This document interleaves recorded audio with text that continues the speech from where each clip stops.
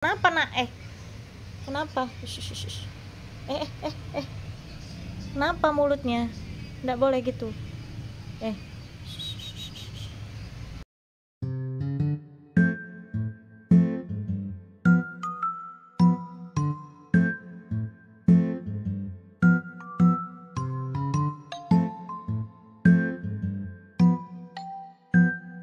Hari ini Embul jadwalnya mau di steril. Siang dia mau cek kesehatan dulu. Kalau memang dia lancar eh, sehat kondisinya, dia bisa langsung di steril. Nah, makanya kata dokternya dia harus dipuasain. Ini jam 8.44 pagi. Jadi dia dipua dia, dia janjinya itu siang jam setengah dua sama dokter itu kan nggak langsung di steril makanya dokternya bilang jam 8 atau jam 9 itu dia terakhir makan. Jadi aku pilih di jam setengah 9 tadi dia terakhir makan. Aku udah kasih makan dia wet food aku udah suntikin dia minuman ob, uh, air putih supaya dia minum. Karena kan kucing tuh kalau nggak dipaksa minum dia minumnya nggak cepet. Belum tentu dia langsung minum setelah makan. Jadi aku cekokin aja tadi pakai suntikan supaya pastiin dia udah minum. Aku nyekokin sekitar 3 milian gitu dia minum Bu mau di steril ya. Ya sayang. Nanti di steril ya nak. Oh pintarnya. Nanti sehat-sehat ya Mbul ya. Bis dibius bangun, sehat, jangan muntah. Biasanya kalau aku aku steril, aku tinggal, terus nanti aku jemput lagi kayak Boni. Dan ini tempat sterilnya sama dengan tempat Boni yang dulu lumayan jauh dari toko aku sekarang karena ujung ke ujung. Kalau dulu dengan rumah tuh nggak jauh-jauh banget tapi karena sekarang kita stay di toko jadi lumayan jauh lah. Dia nggak betah di kandang gelisah dia. Soalnya dia semalam di kandang. Tadi pagi-pagi tapi udah keluar di jam 6 gitu dia udah main dulu. Baru ini dimasukin kandang lagi. Biar dia gembul lagi karena kesian dia kurus tuh stres. Nih yang mau di steril uh, ini udah siang dia tadi ngomel nggak mau di kandang yang ngeong terus. Mungkin dia antara lapar dan bete di kandang. Karena tadi dia keluar keluar tuh langsung ganggu makanannya itu mau dibuka tapi nggak bisa. Karena dia nggak mau di kandang endingnya yang lain juga ikut harusan nggak makan tuh. Tempat makan dikosongin tempat minum dinaikin. Dan ini aku siapin dua barang.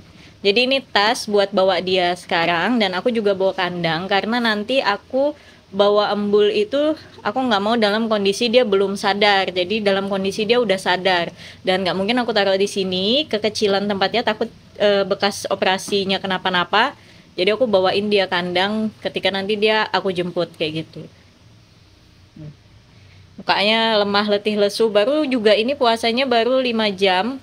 Tapi dia udah udah apa namanya udah pusing sama makanan karena memang anaknya tuh rakus ya si embul ini anaknya rakus. Dan dia ini dari tadi kepo banget sama tasnya dia ini. Nih bul. Tuh mandiri masuk sendiri ke dalam tasnya. Dia dia pikiran tempat buat mainan.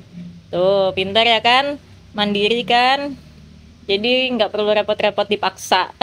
Andai kan kamu tahu bul nanti kamu nggak punya itu pentol. Tuh, dia udah langsung bobo di dalam tasnya. Si adek mau ikut juga. Hah? Ini malah mainan sama adiknya. Eh, kakak itu lagi puasa. Tuh. Jadi tempat main. Kalau adiknya dipegangi lagi. Nih si embul udah posisi dijemput. Tuh. Dia kondisinya belum sadar. Masih dalam pengaruh obat bius. Kita udah jemput karena kliniknya mau apa namanya?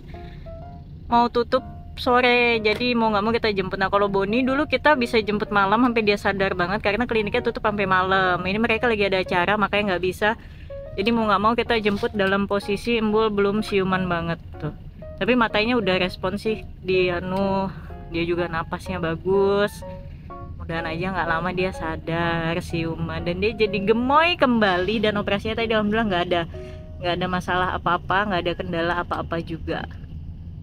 Sampai di rumah. Tadi padahal awal sampai itu si embul ngangkat kepala. Udah kayak mau bangun. Tapi habis itu dia baring lagi masih terkulai. Efek biusnya lama banget nih bul. Eh. Ambul kupingnya udah gerak-gerak teman-teman. Kupingnya udah gerak matanya udah mulai mau pejem buka. Kalau tadi kan betul-betul melek banget. Dia napas juga ya tuh napasnya lah. Normal. Tinggal nunggu efek biusnya hilang aja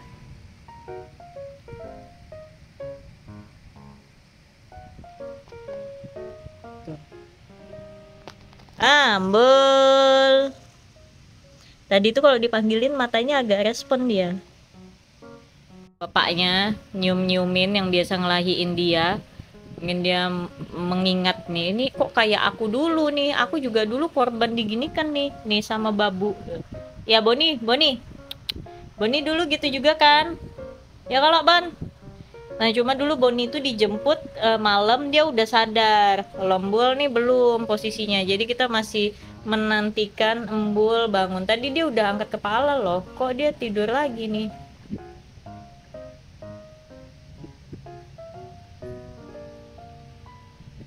Hmm, adek ya.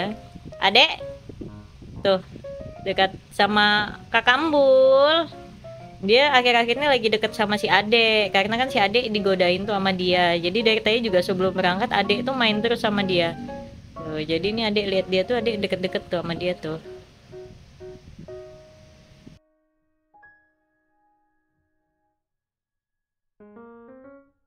Bangun!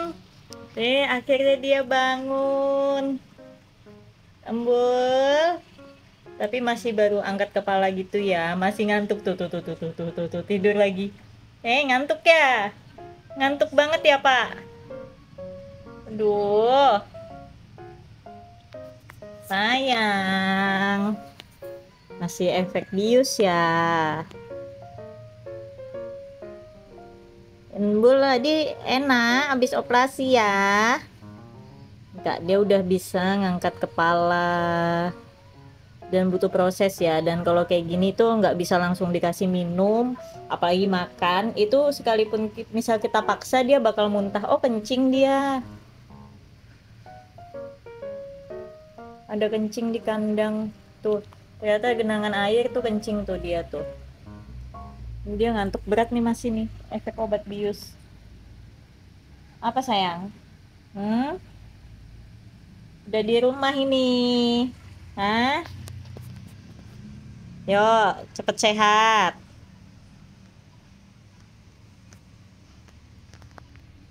Toyong. hmm, cibontot. Oh, oh nggak mau. Oh, kenapa? Oh, mulutnya nggak enak. Iya, biasa efek-efek obat bius tuh gitu ya. Tuh mulutnya nggak nyaman kayak gitu dia. Kayak, kenapa nak? Eh, kenapa? Shush, shush eh eh eh eh. Kenapa mulutnya? Nggak boleh gitu. Eh.